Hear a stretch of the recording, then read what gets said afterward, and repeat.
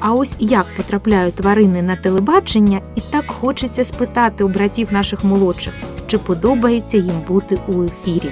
Ефіри за участю улюбленців харківського зоопарку завжди викликають дуже великий інтерес, бо побачити ту чи іншу тварину в умовах телевізійної студії завжди цікаво. Звичайно, що поведінка тієї чи іншої тварини залежить від характеру і від темпераменту. Наприклад, качка мандаринка висиділа 25 хвилин майже нерухомо, і ну це такий дуже цікавий експонат для того, аби телевізійники могли відзняти її з абсолютно з різних ракурсів. Звичайно, що деякі тваринки вони сприймають телевізійний ефір як таку маленьку пригоду, бо вони потрапляють у дуже цікаві обставини: багато світла, декорації, е, інші люди. І їх усе цікавить. Так, наприклад, скунс, коли він потрапив до прямого ефіру, він почав активно вивчати ту ковдрочку, яка лежала на столі, е, щось там шукати, тобто поводився надзвичайно активно, піднімав е, свій хвостик і демонстрував красу свого хутра. Так само і наша знаменита Рись Марися, коли вона потрапила до ефіру, то почала і шкрябати е, покриття, обнюхувати диван, стіл дивитися, що е, відбувається навколо неї, і її стримував лише повідок. Зірками стають е, здебільшого маленькі е, представники великих тварин, так тобто дитинчата, або ось як наша сьогоднішня героїня сова, яка ем, дуже спокійно реагує на усе, що відбувається. Ось вона крутить головою, спостерігає за усім, яка атмосфера, яке оточення. Тобто, звичайно що такі маленькі птахи, маленькі тваринки, вони е, легко е, транспортуються і дуже гарно е, знімаються у телепрограмах. Доброго ранку усім, хто тільки на що прокинувся або прокинувся давно і розпочав свій день разом з програмою Твій ранок. Друзі, сьогодні день телебачення. З чим вітаю себе, працівників Харківської державної телерадіокомпанії. Вітаю вас. Ну і сьогодні в мене в студії зірка, зірка нашого ранкового телеефіру і зірка рубрики Animals. Сава Клуша. І в нас сьогодні в студії з нею Жанна Сівуха, представник Харківського зоопарку. Доброго ранку. Добре утро. Ну, власне, сова Клуша дійсно зірка. Вона вже знімається у телепередачах. Яке життя клуші після такої телевізійної популярності?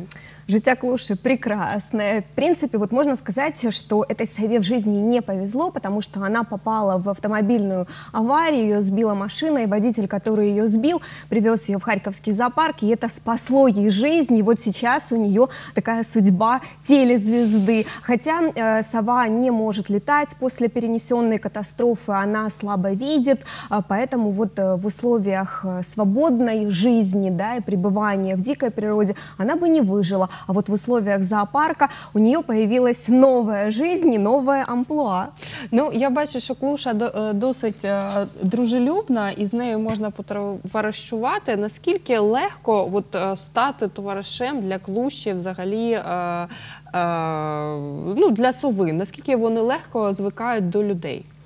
Вообще совы очень э, плохо идут на контакт э, с человеком, потому что совы это хищники, хотя угу. вот э, данный представитель вида, это не ясыть обыкновенная, он очень распространен в Украине, и можно эту сову увидеть даже в городских парках. Но в принципе совы стараются избегать людей. В условиях того, что у клуши есть определенные проблемы со зрением, да, она все-таки э, идет на контакт с человеком, потому что только от человека зависит ее жизнь. Более того, клуша у нас принимает активное участие в выездных лекциях, которые Харьковский зоопарк организовывают для деток из школ, из интернатов. Поэтому она радует не только телезрителей из голубых экранов, но и деток на выездных лекциях, где они могут с ней пообщаться, вот так вот погладить, поразглядывать ее замечательные глаза и, конечно же, посмотреть на вот этот вот удивительный поворот головы практически на 270 градусов. А, ну, тобто, Клуша справді суперзірка і влаштовує вже і лекції, і тренінги. А, в мене таке питання: якщо от е, брати за основу е, таку непросту долю Клуші, е, насправді у Харківській області, ну взагалі у Харкові, ну мені здається, що на жаль, досить часто збивають тварин. Це не тільки звичні кішки та собаки, а от і навіть такі більш дикі і незвичні для, для міського мешканця. Що потрібно робити? Які дії потрібно робити, як- якщо от сталася вже така трагедія, і от збив збила людина ну не тільки сову, а взагалі тварину? Що потрібно робити? Конечно же, необходимо привести ее в зоопарк, потому что только специалисты смогут выходить э, животное, которое было травмировано. Но иногда люди, если они, например, не видели момент этой аварии или какой-либо катастрофы, увидя, например, птицу на земле, считают, что она находится в беде. А на самом деле это просто слеток, который слетел с гнезда, и за ним вот-вот должны э, прибыть его родители. А люди, не понимая этого, поднимают этого птенчика. Во-первых, они берут его в руки, чем передают птенцу свой запах. И это уже будет отпугивать его э, сородичей. Поэтому нужно быть предельно внимательным при анализе ситуации. Это касается как маленьких птенчиков, так и ежат, бельчат э, и различных вот детенышей. Если человек, если вы не можете адекватно оценить, травмированное это животное или же оно просто покинуло свое гнездо, лучше пройти все-таки мимо.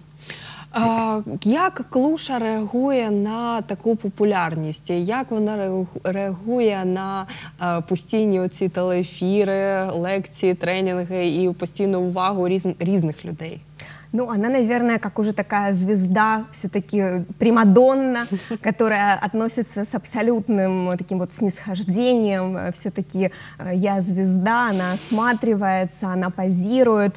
Э, И, конечно же, все хотят с ней сфотографироваться и запечатлеть на памяти такую красоту. То есть она не проявляет агрессию, она любит очень разглядывать, потому что ее привлекает цвет софитов, новая обстановка, какие-то новые звуки, яркие цвета. Конечно, для нее это является определенным приключением и не вызывает э, какого-либо стресса. И, конечно же, она и получает поз- положительные эмоции от общения и с детками, и с э, представителями э, телеиндустрии.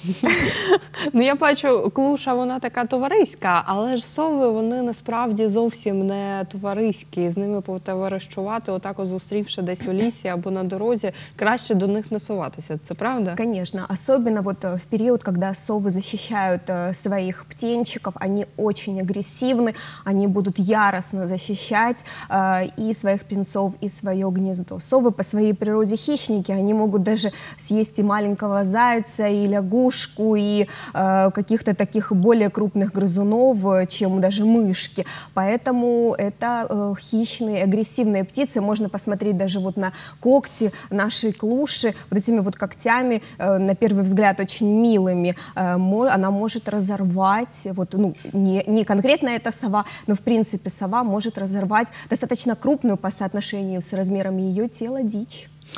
А Сьогодні день телебачення, а, і ми в- власне е, тому запло- запросили Клушу, тому що вона в нас телезірка. А Харківський зоопарк постійним є учасником ранкових телеефірів. Розкажіть, е, скажіть, от е, з такого приводу, що для вас, е, як для установи, і для вас особисто, і для власне клуші і тварин, які приходять приходять до нас у студію, що для вас є телебачення?